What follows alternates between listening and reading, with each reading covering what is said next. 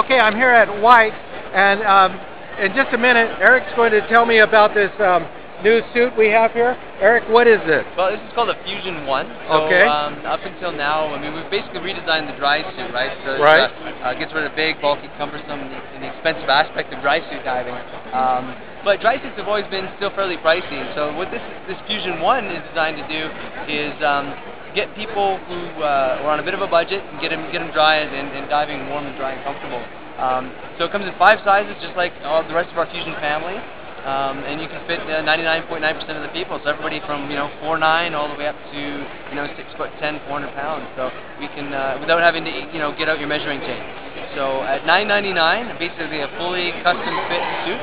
Um, this is actually a full wet um, full dry, dry suit. suit. It is. Yeah. It's so thin, it almost feels like this is part of my undergarment that right? I'm putting on. Yeah, we use um, we use some lycra, uh, a combination of lycra and uh, and standard um, 2 mil neoprene in certain sections with reinforced areas on the knees. Uh, the outer skin actually has nothing to do with keeping the suit dry. Um, what it does is works as a, a, a as a uh, protective layer and an air management layer, um, so giving you uh, uh good mobility characteristics. And, well, and yeah, protection. because you feel like you're you're practically wearing nothing. Right. You almost feel naked. Right.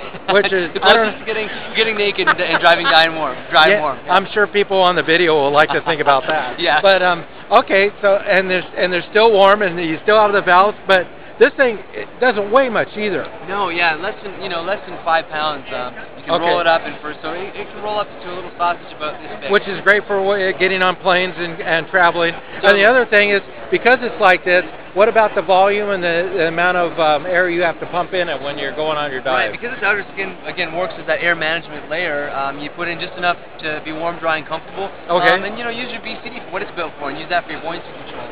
Um, so yeah, you don't really need a lot. It feels like diving a wetsuit, but you're but you're Oh, it it, it feels like you're uh, less than that. It's almost like you're diving. Yeah, like well, a dive in skin, yeah. Yeah, yeah, it, yeah. it does. okay, well, cool. Thank you very much for.